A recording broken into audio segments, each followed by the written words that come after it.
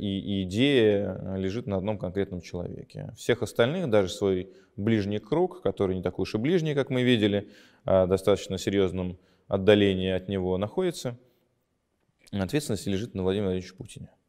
Он это каким-то образом замыслил, возможно, с э, ограниченным очень кругом высшего офицерского состава вооруженных сил, с министром обороны. И, возможно, никто из них до конца не верил, что все это реально. Потом он их поставил перед фактом, они выглядели все очень бледно, никто не мог поверить в то, что это все возможно. То есть не только прогнозисты, не только да, самые даже а, алармистски настроенные из них, не только специалисты по апокалипсису, такие как я, и, и, и не только э, значит, э, весь российский политический класс оказался застан врасплох, но и даже ближайший круг а, путинский, собственно, да, даже люди, которые отвечают там, за безопасность внутреннюю в стране, за там, политический сыск, и, и никто не мог поверить. Это было видно, что они все как-то очень вибрируют. А, значит, ответственность лежит вот в любом случае на нем. Да? Потом уже по кругу стали замазывать а, значит, в это решение и, и в ответственность за эту войну все больше и больше, а, и все более и более широкие слои людей. Сначала значит, Совет Безопасности на камеру, потом парламент и Совет Федерации, которых заставили там проголосовать, поддержать это все. И потом дальше пошла а, значит, замазывание в ответственность за войну всего политического класса. Вы имеете в виду замазывание кровью? Да, замазывание кровью, безусловно, кровью украинского народа. Да? И, и так получилось, что теперь, потом через вот эту Z-истерию, когда по административным каналам стали там, в больницы в какие-то, в э, высшие учебные заведения, в мэрии городов стали спускаться вот эти указивки насчет украшение буквой Z административных, школьных, больничных зданий. Вот таким образом дальше а, ответственность стала спускаться как бы на плечи всего народа. С одной стороны, нужно было продемонстрировать как бы единство народа, да, которого, как мне кажется, на самом деле все еще нет. Да, друзья, нет, мне, вы считаете? Ну, мне друзья в Москве сказали, что в первые дни вот было некоторое количество букв Z на машинах, сейчас практически на Москве букв, букв Z на машинах уже нет. То есть э, есть конформизм, есть желание как бы себя это снять, от этого отодвинуться, спрятаться. Вот если тебе говорят, ну ты поддержишь, ну да, поддержу, не трогайте меня. Просто желание сохранить свою жизнь, потому что требуется героизм, требуется мужество, чтобы сказать этому нет. И есть масса примеров репрессий различного уровня жестокости, там, от увольнения до административных арестов и, видимо, грядущих э, серьезных сроков для тех, кто этот вызов бросает. Но здесь не только как бы речь идет о, о, об имитации общественной поддержки да, или, или инспирировании общественной поддержки э, в войне, но и о том, чтобы спрятаться за спинами людей. Потому что одно дело, мы, мы знаем, что, к вашему вопросу, решение принимал один человек, исходя из каких-то очень странных, очень субъективных и, и, и во многом воображаемых причин. Да? А можно я еще одну историческую аналогию? Э, вы прекрасно знаете, что в 1942 году близ Берлина в Анзее было принято решение, окончательное решение да. еврейского вопроса. Вот вы как писатель можете себе представить ту дату, ту обстановку, когда Владимир Путин сказал, ему когда сказали, что у нас не получается вот э, в локальных боях одержать победу, нужно принимать иное решение. И тут Владимир Путин говорит, нужно решить окончательно украинский вопрос, давайте бомбите и уничтожайте города и села. Самый наглядный пример, э, пример Мариуполь, который уничтожен почти там на 90-95%.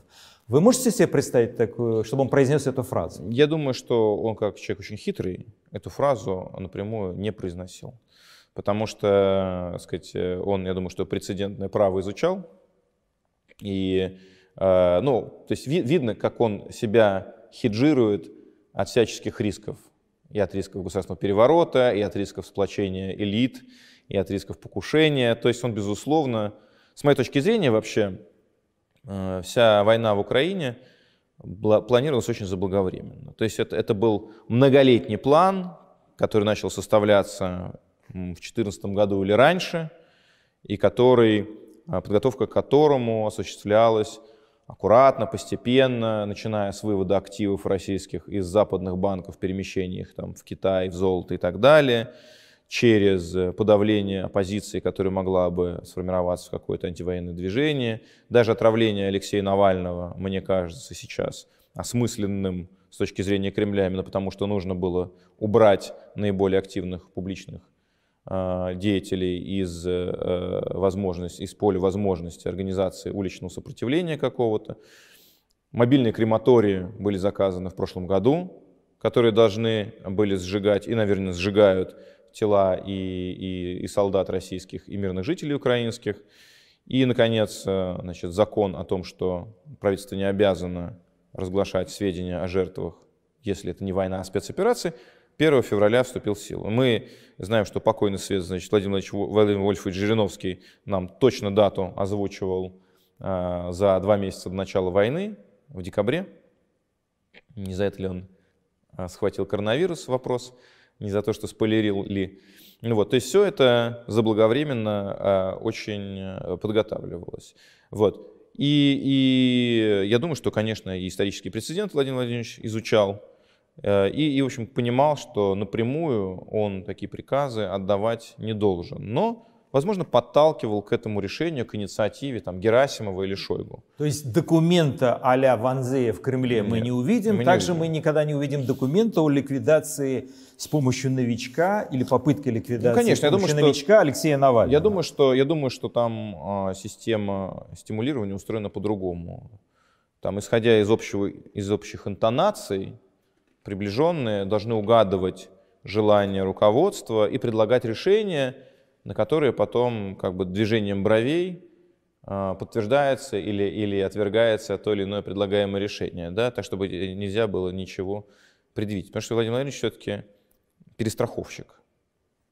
Он себя от всех возможных, просто воз... вероятных негативных развитий а, событий защищает, прикрывает. Вот. Поэтому я думаю, что уж и от обвинений в военных преступлениях он тоже э, попытается себя всячески защитить. Другое дело, что дальше а, вступает в дело политика, и право в таких случаях а, применяется только очень условно, да, а есть вопрос соотношения сил, баланса сил и интересов.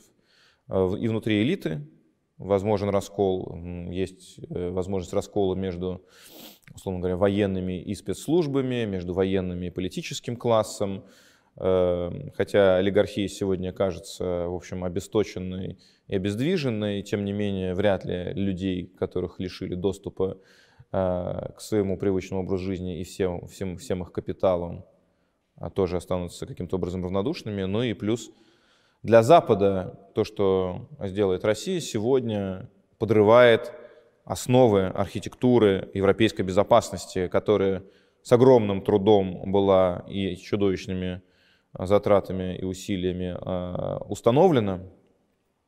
И, и, и сейчас все это просто вот, ну, похерен совершенно. Смотрите, возвращаясь э, или продолжая тему геноцида. Хит сегодняшних идеологических текстов – это статья на РИА Новость некого Тимофея Сергеевцева, фактически с призывами к геноциду украинцев.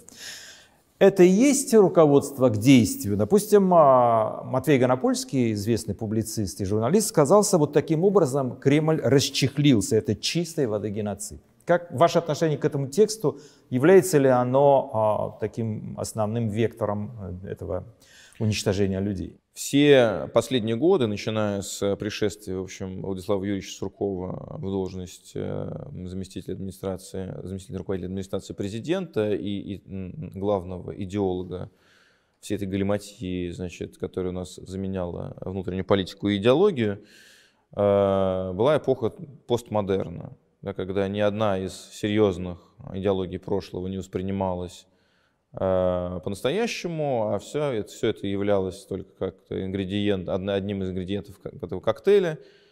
Э, все это намешивалось, одновременно осуществлялось 28 параллельных вбросов, работала администрация Федеральной службы безопасности и с нацистами, и с коммунистами, и с молодежными движениями, и с демократами, и кукловодила ими всеми, создавая некую видимость а, политической конкуренции, с одной стороны, и политической жизни, на самом деле все это модерировалось из кабинетов там, в Лубянке и на Старой площади. И я думаю, что это просто вот статья Сергейцева, о которой вы говорите, это один из пробных шаров, который запускается в общественное поле, дальше мониторится реакция, а дальше есть и какие-то более примиренчески настроенные эксперты. Вот Мединский что-то озвучивает, вот Рамзан Ахмадович Кадыров что-то озвучивает. Вот это, значит, вот такой, вот такой, вот такой. И дальше они смотрят, куда, в принципе, идет а, общественное мнение и, и э, где находятся рамки возможного. То, что это но это фа... не руководство То, что это фашистская статья а, немножко как бы разминает грани возможного, их расширяя, безусловно. Но то, что это руководство к действию, я не думаю. Когда с таким заявлением выступят какие-то более серьезные люди, это будет означать э, легитимацию э, насилия в отношении, окончательную легитимацию официального насилия в отношении гражданского населения, это будет начало геноцида. Но сейчас, обратите внимание, Россия отказывается брать на себя ответственность за военные преступления, как и в случае с Боингом, вбрасываются параллельно там 28 различных версий того, что произошло в Буче и Ирпене. Однозначно это и говорит, собственно, о, о причастности именно российских вооруженных э, сил к этому, да, потому что иначе была бы какая-то единая, понятная, стройная версия. Но когда одновременно все значит, обвиняют и английские спецслужбы, и, и говорят, что все это постанова и украинские нацисты, мы видели применение этой информационной дезинформационные тактики в случае с Боингом и в других случаях, когда Россия оказалась замешана там, с отравлением Скрипалей, с отравлением Алексея Навального и так далее. Это уже просто ну, скучно и не работает. Мы знаем, что именно так а, российский режим скрывает следы а, своих преступлений, а потом, так wink-wink, дает понять, что да, если бы хотели бы отравили, но вообще-то заслужил. Если бы хотели бы сделали, но вообще-то надо было, давая понять а, своим самым таким оторванным сторонникам, что да, это мы. То есть я думаю, что здесь э, в случае с, с казнями гражданских жителей в киевских пригородах ситуация достаточно однозначно понятна.